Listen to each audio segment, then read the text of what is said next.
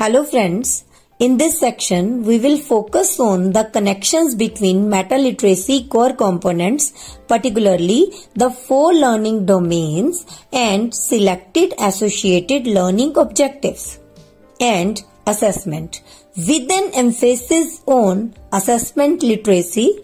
Pertinent to this exploration is the notion of self-directed learning as both a process and a learner characteristics. Meta literacy is a pedagogical framework that advances several characteristics that reinforces self-directed learning. The flexibility of the learning domains and roles provided real world context for self-directed learners to actively engage. Further, integrating self-directed learning and assessment with meta-literacy core components can help learners to develop the skills and knowledge needed to navigate the complex and rapidly changing digital landscape. Meta-literacy core components includes the affective learning domains, metacognitive learning domains, cognitive learning domains and behavioral learning domains. Whereas affective learning domains focuses on learners' attitudes and emotions related to the information ecosystem such as curiosity,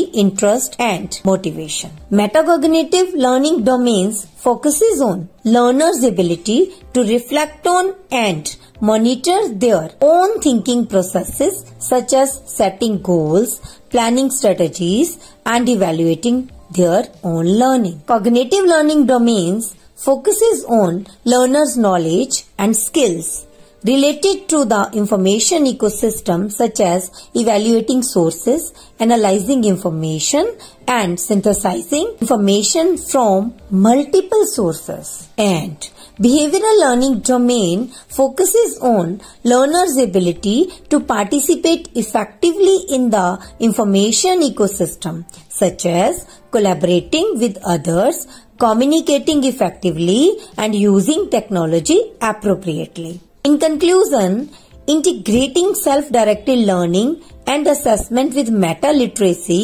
core components involves focuses on learners' attitude and emotions, the ability to reflect on and monitor their own thinking processes, knowledge and skills related to the information ecosystem and the ability to participate effectively in the information ecosystem. These practices can help learners become more effective and critical consumers and creators of information in today's complex and rapidly changing digital landscape.